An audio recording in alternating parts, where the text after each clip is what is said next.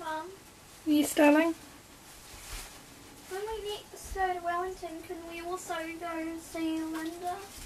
Of course. Is that what we normally do? Yeah, we always see Linda when we go to Wellington.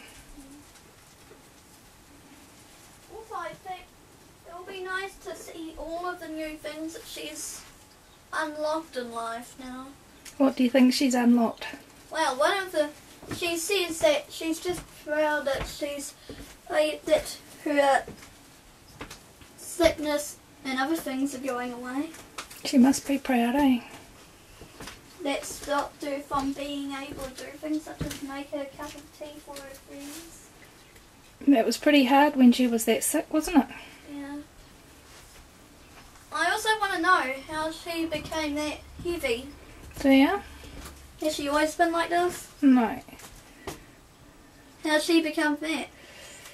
Same way I became fat. Having a baby?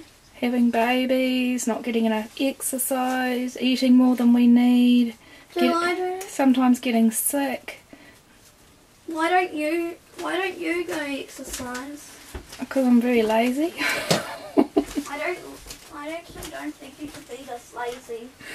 okay, Zac, I'll try not to be so lazy. I mean, because of how lazy you're starting to be, because of how lazy you're acting, you're not. You, this is also the main reason why you keep getting sick.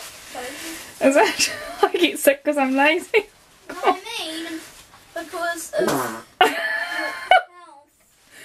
Zac, did you just make a fart? No, but you're not very good health.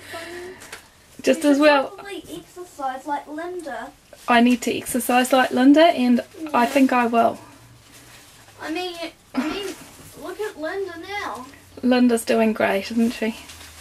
Thanks for the